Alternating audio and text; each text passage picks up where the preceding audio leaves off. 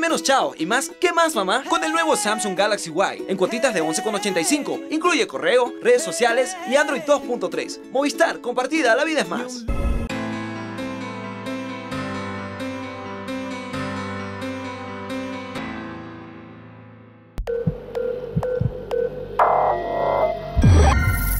En mi pueblo no tenía, nunca tuve tele. Y no era de esos chicos que me gustan estar metido en casa ajena. Y aparte mi mami también era un poco así media extrovertida en ese sistema, ¿no? Eh, aquí nos acomodamos como sea, pero en nuestras casas. Y tampoco no se veía así fútbol, pongamos, ecuatoriano. Ya en mi, en mi pueblo más salían los canales colombianos y se veía más. Uno, yo vamos, soy identificado también con el América de Cali, pongamos. Por, la tel- por los partidos que transmitían Eh, en tu pueblo. Exacto. ¿Cómo se llama tu pueblo? Tambillo, Tambillo. Le, le llamamos la capital de la concha.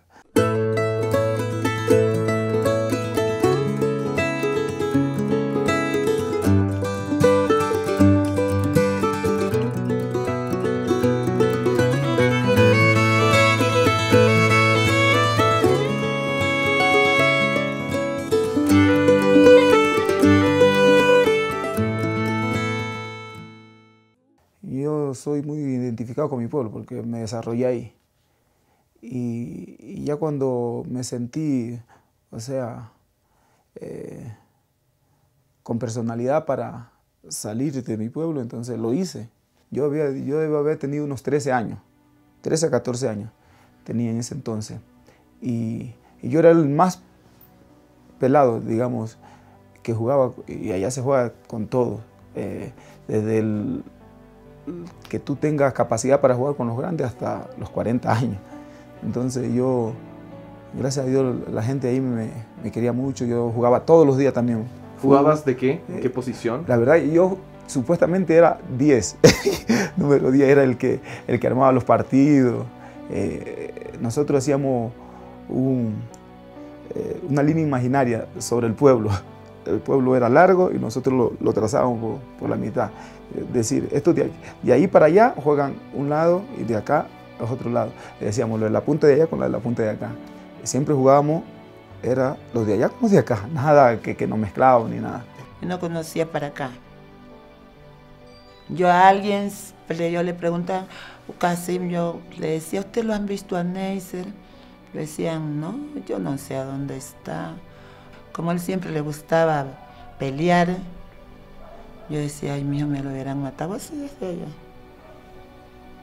Cuando después un chico me dice, me dice, ¿cómo se llama su hijo? Me dice, es que están nombrando a un Neisser Riasco que está jugando en la sub-20. Y ahí encendí el televisor y lo vi.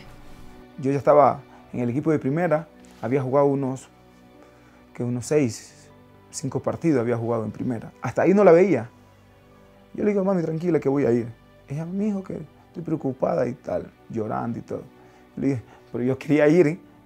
con lo que yo nunca tuve, que fue un tele, una cocina de gas, eh, un equipo de sonido. Entonces yo, yo había comprado todo eso. Yo dije, fin de año tengo que ir. Ella se adelantó, ella vino. Y ahí topé a mi hijo. Y ya no me desprendí más de mi hijo. Para mí ese, ese encuentro fue lo, como que yo volví a nacer ese entonces, porque eh, vi a mi mamá de nuevo, vi a mis dos hermanitos, los más pequeños, lo volví a ver, que tenía... Y yo por mi cabeza pasaba siempre que yo nunca había salido de mi casa tanto tiempo, decía, no la voy a, reconocer cuando la vea. Y fue algo lindo así porque como que me eriz- se me erizó el cuerpo cuando los vi. Dije, esto es mi familia. No la vi a mi mamá casi cuatro años, pero en mi cabeza siempre estaba mi mamá. Siempre, en mi mente, siempre, todos los días. Y la gente eso no sabe, ¿no? Pero yo viví en Santo Domingo lloraba a veces, pasé año nuevo sin, sin mi mamá. Y la pensaba Y hasta ahora la piensa. todos los días, todos los días, todos los días. Yo le doy gracias a ella por, por haberme criado así porque, eh, sabes que ahora hay muchos métodos de, de- de- de enseñanza, de crianza de los niños por el psicólogo, eh, muchas cosas que hay, ¿no? Pero a mí me castigaban bastante, bastante, porque también era medio terrible cuando era de niño. O sea, eras igualito que ahora. peor. Entonces, yo cumplía con, con las tareas que me dejaban, y, pero a veces me salía. Y entonces, era una manera de corregirme, ¿no? Y yo agradezco a mi mamá que me haya corregido de esa forma porque... Era firme tu mamá contigo. Exacto, exacto, porque nos crió solo. Ella nos crió solita. ¿Cuántos eran ustedes? cinco. Cinco. ¿Y tu padre? Mi papá siempre vivió en Esmeralda con otra familia. Eh, no tengo quejas tampoco, porque no es que quejas, sino que a mí lo mismo me dio eh, que él estuviese o no, porque mi mamá me crió bien. ¿Cuánto de lo que te enseñó tu madre lo aplicas ahora con tus hijos? Todo casi, todo. El buen trabajo, trabajar siempre, preocuparse por su familia, preocuparse por sus hijos. Eh, yo a la verdad que soy un poco protectora en eso. ¿Eres un padre estricto también, firme? Sí, soy bastante complicado, creo. No complicado, sí, trato de, de que la vida yo la lleve en recta, ¿no? Eh, y a veces soy un poco, como se dice, chato, así, tipo hostigoso. I'm in a room full of people hanging on one person's breath. We would all vote him most likely to be loved to death. I hope he still wants it, but it might remind him of when he aimed for the bullseye and hit it nine times out of ten.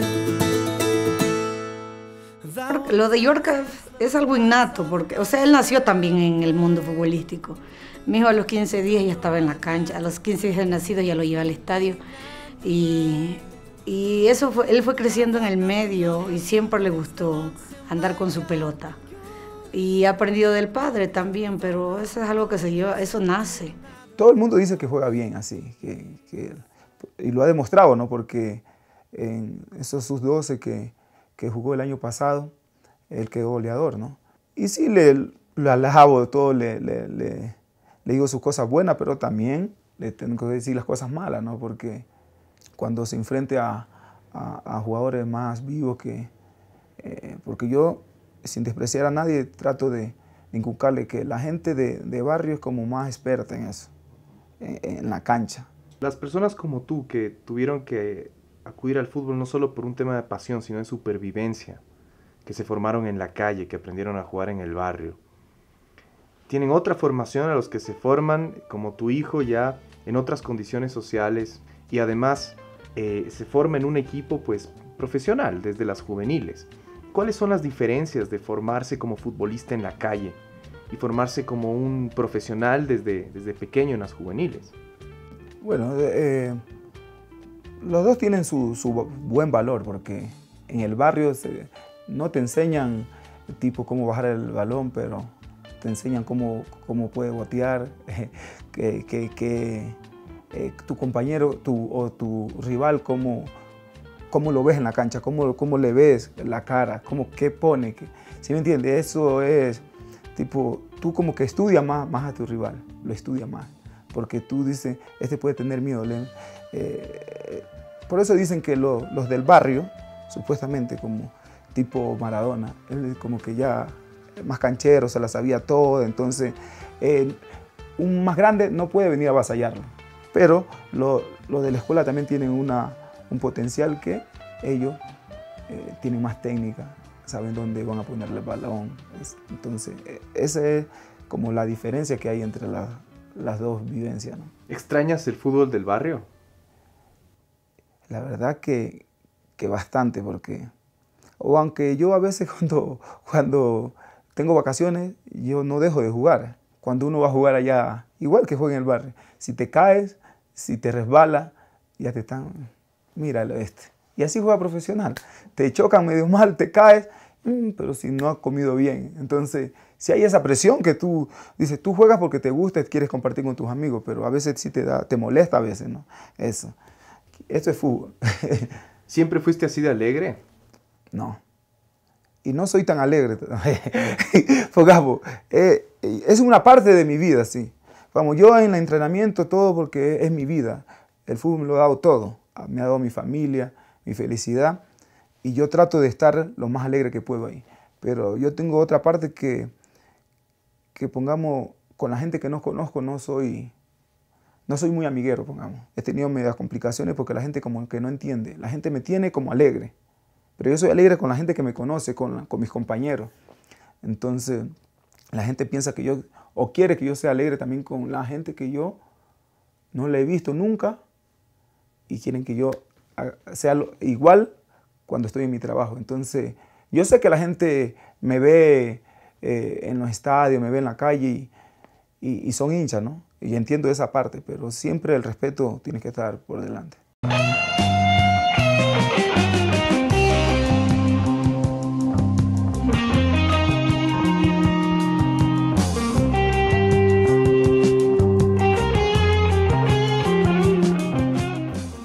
¿Qué, es la familia para ti, Neisser? lo, lo más, lo más grande, lo más importante, lo más importante. Uno sin la familia, la verdad es que pienso yo que no es nada. Tú solo no, no te puedes abrir camino. Desde que yo conocí a mi, a- mi esposa, la verdad que todo me, sa- me salió de maravilla, todo, todo, todo. ¿Qué tiene ella que, que hace que todo te salga de maravilla? Tranquilidad. Ella me da tranquilidad, me da paciencia.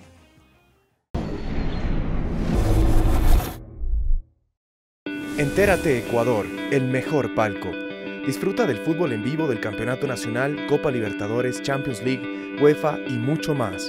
Entérateecuador.com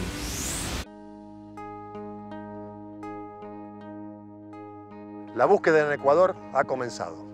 Estoy aquí para ver su talento, descubrir a los mejores y darles la oportunidad que los puede llevar a la gloria. Para demostrarlo, deberán exigirse a sí mismos y probar cuánto lo desean.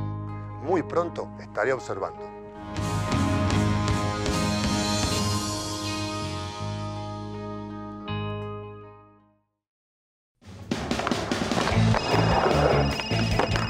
Hola mamá. Hola, mijo.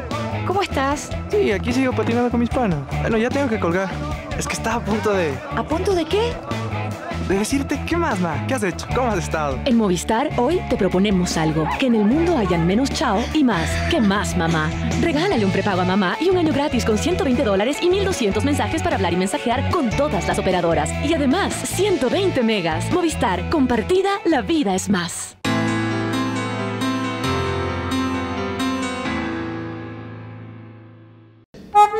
Y,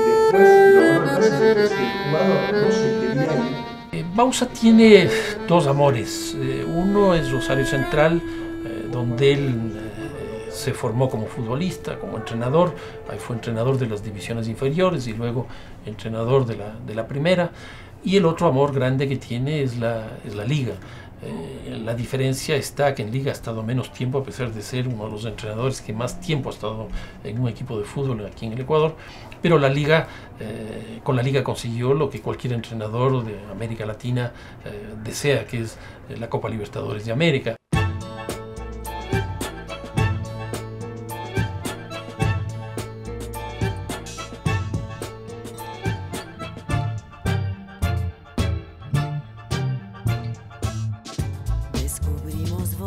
Dijo eh, el patón que, eh, con un acto de humildad maravilloso, me dijo que si yo creía que su vida, su obra, eh, podía dar lugar a un libro.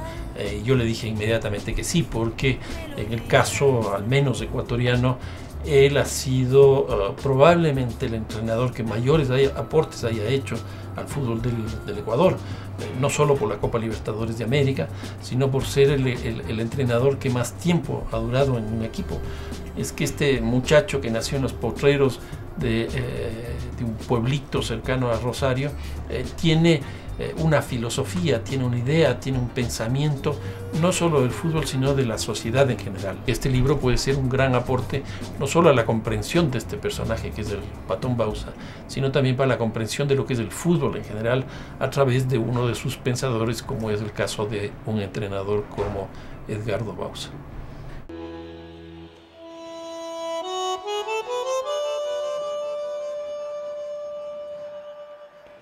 Más bien me da la impresión que esa imagen que tenemos ah, como una persona que no habla eh, no es así. Eh, es, un tipo eh, que tiene un pensamiento muy profundo del fútbol.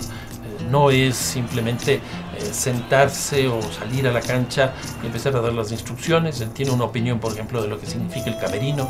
Define que el camerino es una situación de franco peso a la hora de salir a, la, a la cancha y que es, el camerino es sagrado que no puede ser tocado ni manoseado y me parece que eso él ha defendido con sus acciones, eh, pero por otro lado también dice eh, que los hinchas y los jugadores son eh, la base de este deporte, que si no hubieran estos dos, uno de los dos, este, el fútbol desaparecería, que no tendría sentido.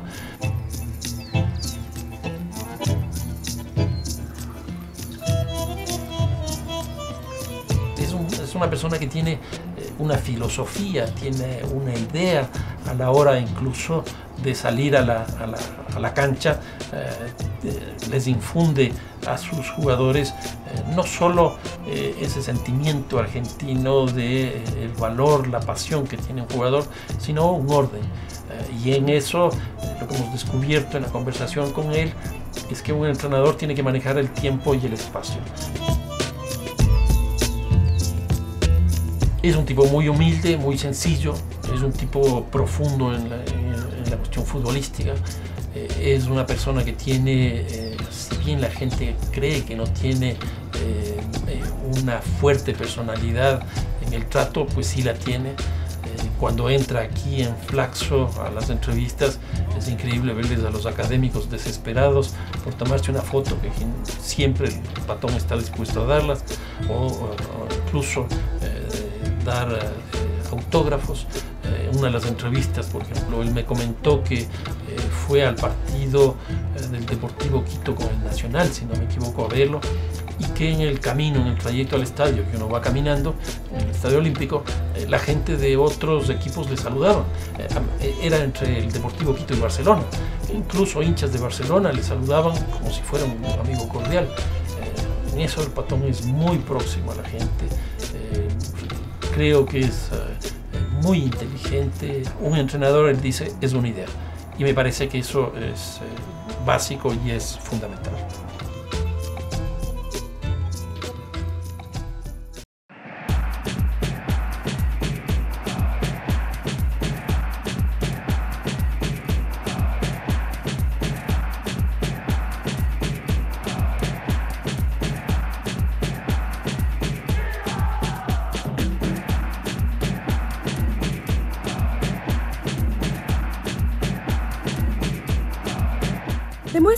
Pasión por Liga. Envíanos tus fotos y el link de tus videos a esoesliga.ldu.com.es y sé parte de Eso es Liga. Entérate Ecuador, el mejor palco. Disfruta del fútbol en vivo del Campeonato Nacional, Copa Libertadores, Champions League, UEFA y mucho más. Entérateecuador.com.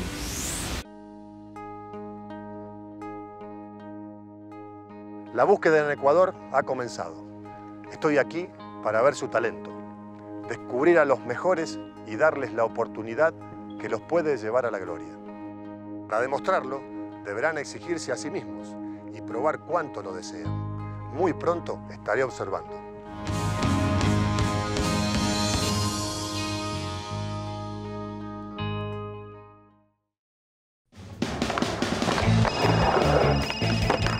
Hola mamá. Hola mi hijo.